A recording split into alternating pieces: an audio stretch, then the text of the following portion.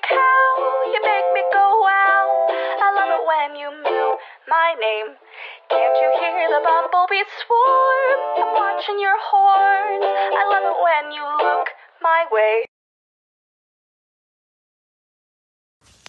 I wish I had footage of when Fluffy was a baby. She jumped through the bars and it was so nice.